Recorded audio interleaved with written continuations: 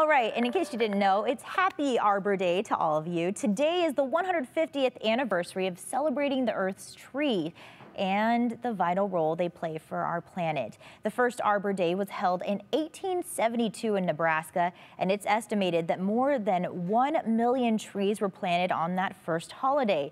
It's now celebrated nationwide.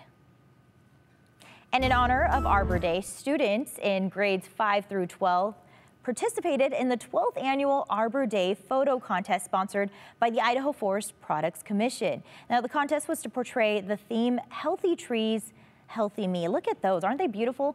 Five winners were picked and 19 honorable mentions out of almost 200 photographs. The first place winners were fifth graders Annaleigh Cook, 12th grader Mackenzie Butler, 7th grader Jonas Yengst, 10th grader Julia Bilimoria, and eighth grader Avery Johnson. Each first place winner got prizes, including $50, and each winner was honored this morning at the State Arbor Day ceremony. So congratulations to them all.